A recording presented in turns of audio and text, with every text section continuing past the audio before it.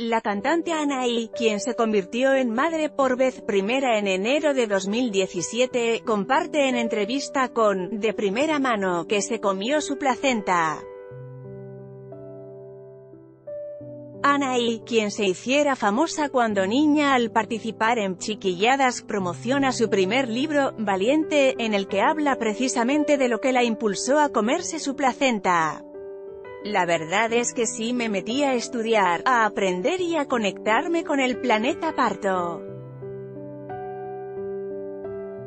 Las propiedades de la placenta las explico bien en el libro, comérsela es una decisión personal, y cada quien haga con su placenta lo que quiera. De esta manera, Anay se une a famosas como Kim, Alicia Silverstone, Maggie Bialico y Jennifer López, entre otras, quienes también practicaron este método, comerse la placenta, luego de ser madres.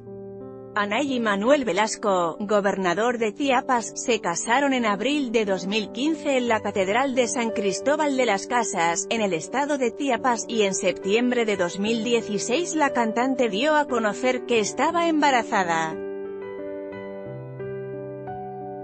Actualmente Anay promociona su libro, Valiente, el cual ya está en versión digital y pronto en librerías del país. Punto. La entrevista con Anay a partir de 39 minutos con 20 segundos. En esta nota,